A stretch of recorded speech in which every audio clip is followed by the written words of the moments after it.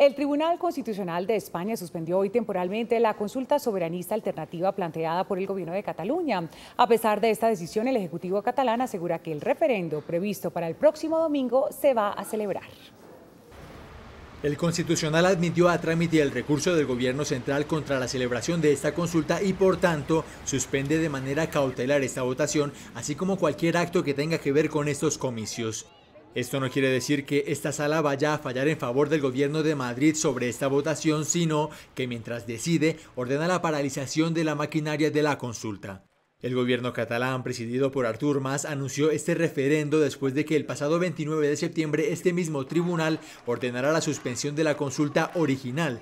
Es por eso que Cataluña presentó esta consulta alternativa apoyándose en los puntos que no suspendió el Constitucional en su primera decisión. Sin embargo, de poco sirvió esta estrategia a la Generalitat, que aún así asegura que la votación se va a celebrar.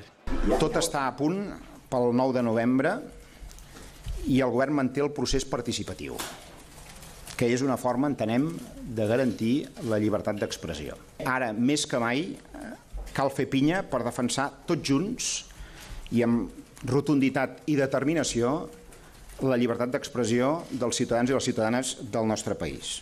Cataluña también afirma que va a demandar al gobierno central ante el Tribunal Supremo, por lo que según ellos es una violación de los derechos fundamentales.